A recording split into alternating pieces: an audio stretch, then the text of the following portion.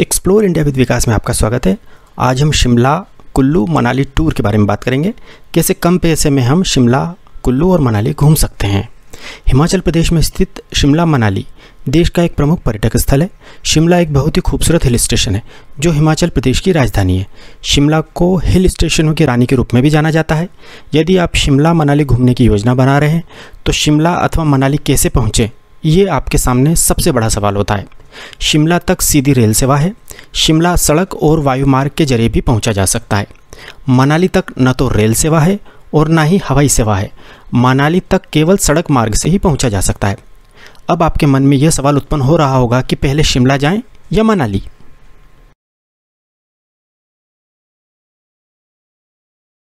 इसका जवाब है, आपको पहले शिमला जाना चाहिए, क्योंकि आप टॉय ट्रेन को एंजॉय कर सकते हैं। गौरतलब है कि यदि आप दिल्ली से शिमला के लिए अपनी यात्रा शुरू करते हैं तो आप दिल्ली से ट्रेन से कालका तक जाएँ, तथा कालका से आप शिमला के लिए टॉय ट्रेन पकड़ें। यदि आपके साथ बच्चे हैं तो इससे अच्छा कोई ऑप्शन अर्थात विकल्प नहीं है। आप सुबह सात बजकर चालीस मिनट पर कालका शताब्दी ट्रेन से ग्यारह बज के पैंतालीस मिनट पर दिल्ली से कालका पहुँच सकते हैं। कालका में आपको लगी हुई हिमालयन क्वीन नामक टॉय ट्रेन मिल जाएगी। यह ट्रेन कालका से दोपहर बारह बज के दस मिनट पर छूटती है। अब आपके मन में एक सवाल यह उत्पन्न हो रहा होगा कि यदि दिल्ली से शिमला वाली ट्रेन लेट हो गई तो टॉय ट्रेन तो छूट जाएगी। इसका आंसर है, ऐसा कभी भी नहीं होगा, क्योंकि टॉय ट्रेन दिल्ली से कालका आने वाली टॉय ट्रेन की सवारी लेने के लिए ही रुकी रहती है। चाहे दिल्ली से आने वाली ट्रेन कितनी भी लेट क्यों ना हो जाए, यह टॉय ट्रेन आपको लेकर ही शिमला जाएगी। यह बात याद रखें कि टॉय ट्रेन का टिकट एक महीने पहले ही ऑनलाइन बुक करा लें, क्योंकि इस ट्रेन का टिकट उसके बाद नहीं मिलेगा। टॉय ट्रेन का टिकट हो जाने के बाद ही आप शिमला में होटल बुक कीजिएगा। यदि आप शिमला ट्रिप के लिए एक महीने पहले टॉय ट्रेन का टिकट बुक करेंगे तो यह आसानी से मिल जाएगा, परंतु तत्काल बुकिंग की स्थिति में इसका टिकट बिल्कुल नहीं मिलेगा। यह बात आप ध्यान रखें।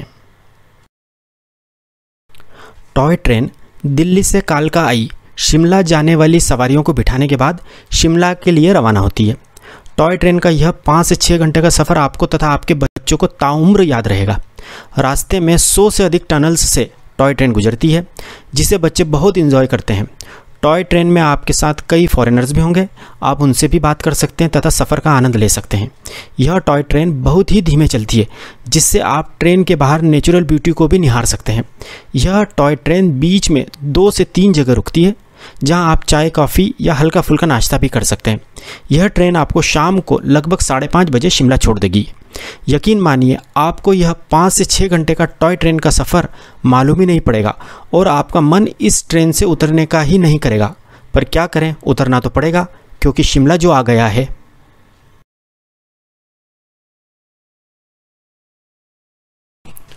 अब आप शिमला रेलवे स्टेशन पहुँचने के बाद अपनी होटल तक जाने के लिए कूली करें। अब आप सोच रहे होंगे कि कूली क्यों करें? इसका कारण क्या है? इसका कारण यह है कि शिमला में खड़ी चढ़ाई है। तो आप लगेज लेकर इस प्रकार की चढ़ाई नहीं चढ़ सकते हैं। कूली केवल 50 से 100 रुपए में आपका पूरा लगेज आपकी होटल तक लेकर जाएगा, तथा आपके होटल तक का रास्ता भी आपको गाइड कर देगा। यदि आपका होटल शिमला सिटी से दूर है तो आप रेलवे स्टेशन से टैक्सी कर सकते हैं। टैक्सी का किराया 200 से 300 रुपए के बीच होता है। शिमला में होटल जहाँ तक हो सके हिमाचल टूरिज़्म डिपार्टमेंट का ही बुक करें। यदि हिमाचल टूरिज़्म डिपार्टमेंट के होटल ना मिले तो ही अन्य प्राइवेट होटल बुक करें। होटल ऑनलाइन ही बुक करें, क्योंकि इस तरह से होटल बहुत सस्ते पड़ते हैं। शिमला में आपको हज़ार रुपये से दो हज़ार रुपये प्रतिदिन के हिसाब से अच्छा बजट होटल मिल जाएगा।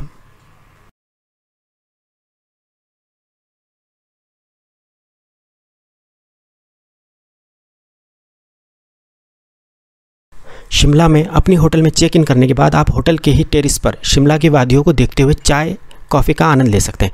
इसके बाद आप रात में माल रोड घूमने जा सकते हैं।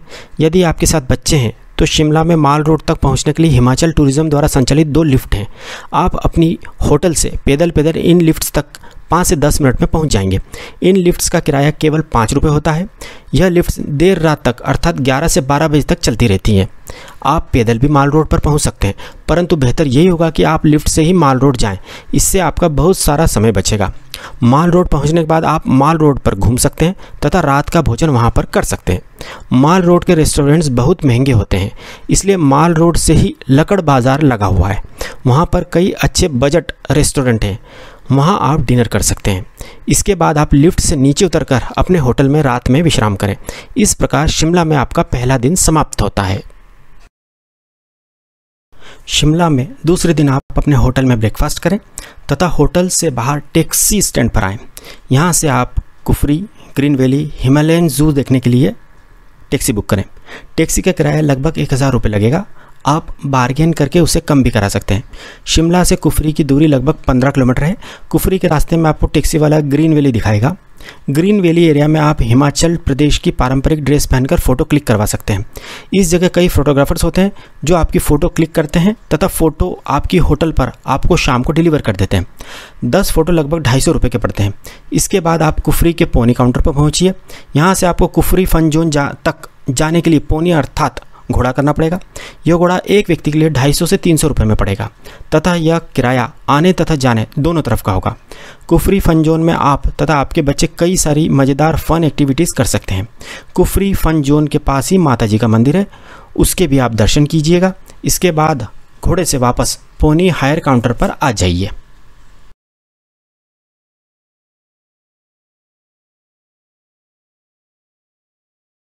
इसके पास ही हिमालयन जू है। आप उसे भी एक्सप्लोर कीजिएगा। जू से बाहर निकलकर आप अपनी टैक्सी से इंदिरा टूरिस्ट पार्क जाइए। यहीं पर इंदिरा बंगलो है, जहाँ पर भारत पाकिस्तान के बीच शिमला समझौता हुआ था। यहीं पर हिमाचल टूरिज़्म डिपार्टमेंट का ललित कैफ़े है। आप उसमें लंच कीजिए। ललित कैफ़े का भोजन रीजनेबल तथा बहुत लजीज होता है।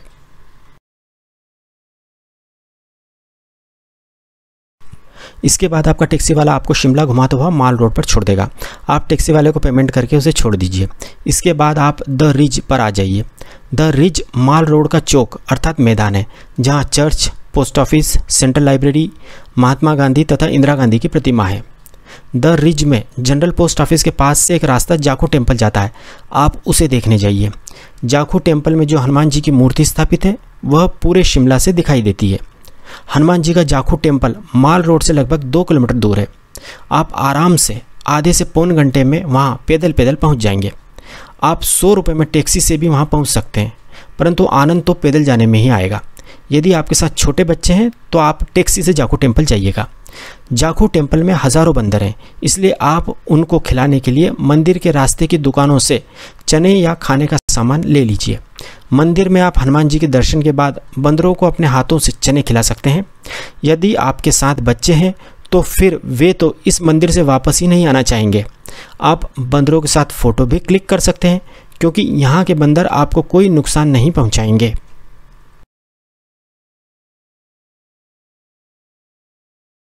जाखू टेंपल घूमने के बाद आप वापस माल रोड आ जाइए। इसके बाद आप माल रोड के द रिज पर चाय, कॉफ़ी या आइसक्रीम एंजॉय कीजिए। इसके बाद आप द रिच पर स्थित चर्च, पोस्ट ऑफ़िस तथा सेंट्रल लाइब्रेरी विज़िट करें। इसके बाद आप माल रोड पर घूमते हुए स्कैंडल पॉइंट तक जाएँ। स्कैंडल पॉइंट माल रोड का अंतिम छोर है। स्कैंडल पॉइंट से ही पटियाला के महाराज ने ब्रिटिश वायसराय की बेटी का अपहरण किया था। इसके बाद आप माल रोड पर या लकड़ बाज़ार में स्थित किसी रेस्टोरेंट में डिनर करें तथा वापस अपने होटल में जाकर रेस्ट करें। शिमला में तीसरे दिन आप होटल में ब्रेकफास्ट करने के बाद टैक्सी बुक करके नाल देहरा देखने जाएँ। नाल देहरा में आप पोनी अर्थात घोड़े पर बैठकर गोल्फ कोर्स तथा नाग टेंपल देखें। नाल देहरा में जिस जगह मिथुन चक्रवर्ती की प्यार झुकता नई फ़िल्म की शूटिंग हुई थी, आप वह पॉइंट भी देखने जाएँ। बड़ा ही खूबसूरत पॉइंट है वो। इसके बाद आप नाल देहरा में ही लंच करें। लंच के बाद आप ताता पानी देखने जाएँ। ताता पानी में आप राफ्टिंग भी कर सकते हैं, परंतु राफ्टिंग आप कुल्लू में करें।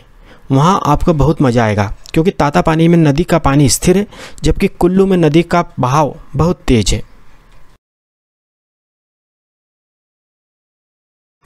इसके बाद आप टैक्सी से वापस शिमला के माल रोड पर आ जाएँ, तथा शिमला में अपने इस टूर की आखिरी शाम माल रोड पर ही बिताएँ। माल रोड पर ही डिनर करें। इसके बाद आप माल रोड पर स्थित हिमाचल प्रदेश टूरिज़्म डिपार्टमेंट के ऑफ़िस में अगले दिन के लिए बस बुक कर सकते हैं, जो कि आपको शिमला से मनाली लेकर जाएगी। यदि आप चाहें तो शिमला से मनाली के लिए टैक्सी भी बुक कर सकते हैं। शिमला से मनाली का टैक्सी का किराया तीन से चार हज़ार रुपये का होता है, जबकि बस का किराया पाँच सौ से छः सौ रुपये के बीच होता है। इसके बाद आप अपने होटल में जाकर रेस्ट करें। अगले दिन सुबह आप होटल से ब्रेकफास्ट करके चेकआउट करें, तथा बस या टैक्सी से मनाली के लिए निकल जाएँ। बस से मनाली जाएँगे तो आप कुल्लू में नहीं रुक सकते हैं। टैक्सी बुक करके मनाली जाने का एक लाभ यह है कि रास्ते में आप कुल्लू में रुक सकते हैं, तथा आप वहाँ राफ्टिंग का आनंद ले सकते हैं। राफ्ट एक प्रकार की नाव होती है जो कि रबर की बनी होती है। इस नाव से आप व्यास नदी में राफ्टिंग कीजिएगा। राफ्टिंग का चार्ज नदी में आप कितनी दूर तक राफ्टिंग करना चाहते हैं, उस पर डिपेंड होता है। जो कि साढ़े सात सौ रुपये से दो हज़ार रुपये के बीच होता है। यह चार्ज पूरी फैमिली का होता है। यहाँ पर आपको ज़बरदस्त बार्गेनिंग करनी पड़ेगी। राफ्टिंग के बाद आप कुल्लू में लंच कीजिएगा। इसके बाद कुल्लू में ही आप रेबिट पार्क तथा कुल्लू शॉल फैक्ट्री भी विज़िट कर सकते हैं। इसके बाद आप सीधे मनाली आ जाइए। मनाली पहुंचकर अपनी पहले से ऑनलाइन बुक होटल में चेक इन कीजिए। इसके बाद आप होटल में ही प्रकृति का आनंद लेते हुए चाय कॉफ़ी पीजिए। इसके बाद आप होटल से बाहर निकलकर माल रोड पर आइए। मनाली का माल रोड शिमला के माल रोड जैसा सुंदर नहीं है। मनाली की माल रोड एक छोटी सी सड़क है, जिस पर कई सारे रेस्टोरेंट तथा छोटी बड़ी दुकानें स्थित हैं। माल रोड पर ही आपको टैक्सी काउंटर से अगले दिन रोहतांग पास या स्नो पॉइंट तथा सोलांग वैली तक जाने के लिए टैक्सी बुक करनी होगी। टैक्सी का किराया एक हज़ार से डेढ़ हज़ार रुपये के बीच होता है। उल्लेखनीय है कि रोहतांग पास 15 मई के आसपास खुलता है।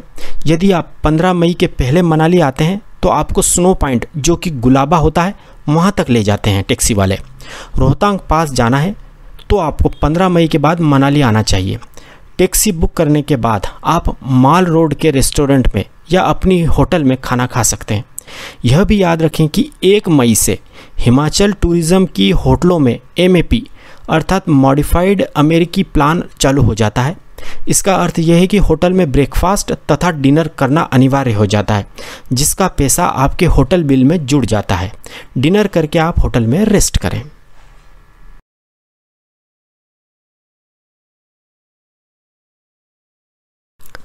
अगले दिन आप सुबह जल्दी उठकर ब्रेकफास्ट करके रेडी हो जाएँ। सुबह सात बजे तक आप होटल से रोहतांग पास या स्नो पॉइंट के लिए निकल जाएँ। यदि होटल में ब्रेकफास्ट इतनी जल्दी रेडी नहीं हुआ हो तो आप रास्ते में कई छोटे छोटे रेस्टोरेंट मिलेंगे, वहाँ हेवी ब्रेकफास्ट कर लें, क्योंकि स्नो पॉइंट पर मैगी और चाय ही मिलती है रास्ते में ही सैकड़ों दुकानें स्नो बूट तथा स्नो सूट की मिलेंगी, जहाँ से आप स्नो बूट और स्नो सूट किराए पर ले लें और अपनी टैक्सी में रख लें। यह ड्रेस तथा जूते आपको 250 से साढ़े तीन सौ रुपये प्रति व्यक्ति पड़ेंगे। यहाँ पर भी आपको बहुत ज़्यादा बार्गेन करना पड़ेगा। स्नो पॉइंट या रोहतांग पहुंचकर आप स्नो एक्टिविटी जैसे स्कीइंग स्लेज आदि एंजॉय कर सकते हैं।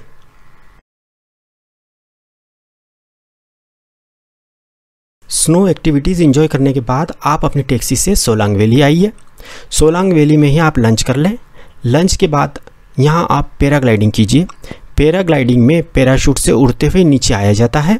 इसका चार्ज साढ़े तीन सौ रुपये से दो हज़ार रुपये तक होता है।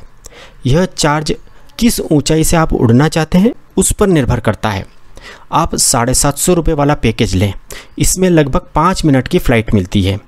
दो हज़ार रुपये में आपको पैराशूट में पायलट के साथ पंद्रह मिनट तक आसमान में उड़ाया जाता है।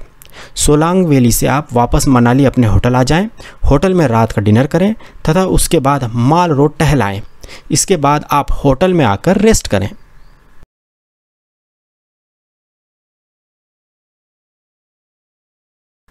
अगले दिन आप ब्रेकफास्ट करने के बाद टैक्सी बुक करके होटल से चेकआउट करें। आप अपना सामान टैक्सी में रख लें। आप यह भी कर सकते हैं कि होटल से चेकआउट होने के बाद अपना सामान होटल में ही रिसेप्शन या स्टोर रूम में रख दें, तथा उनसे कहें कि सामान आप शाम को उठा लेंगे। इसके बाद आप टैक्सी से मनाली का प्रसिद्ध हिडिम्बा मंदिर, मनु मंदिर, Roerich art gallery Naggar castle घूमने जाएँ। रास्ते में ही आप लंच कर लें।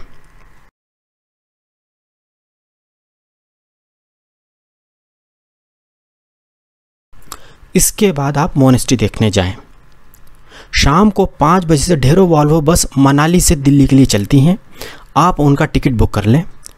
आप शाम को वॉल्वो बस स्टैंड पर टैक्सी से अपना सारा सामान उतार कर टैक्सी का पेमेंट कर उसे छोड़ दें। इसके बाद आप दिल्ली जाने वाली अपनी वॉल्वो बस में बैठ जाएँ। यह वॉल्वो बस आपको सुबह दिल्ली छोड़ देगी। इस तरह आपका यादगार शिमला कुल्लू मनाली टूर समाप्त होता है। यदि आप मनाली के पास मणिकर्ण गुरुद्वारा घूमना चाहते हैं तो आपको मनाली में दो दिन की जगह तीन दिन रुकना पड़ेगा। अब हम अपनी इस छः दिन की शिमला कुल्लू मनाली यात्रा का अधिकतम खर्च कितना पड़ेगा, इस बारे में बात करते हैं।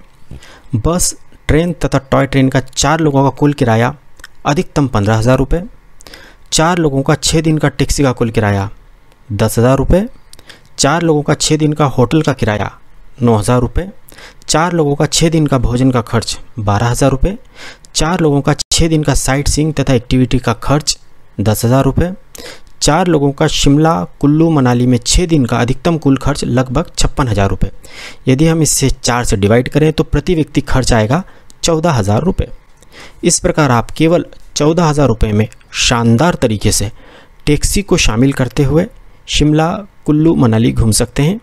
यदि आप ऑनलाइन होटल बुक कर लेते हैं तो होटल का खर्च नौ हज़ार रुपये से घटकर केवल छः हज़ार रुपये ही आएगा।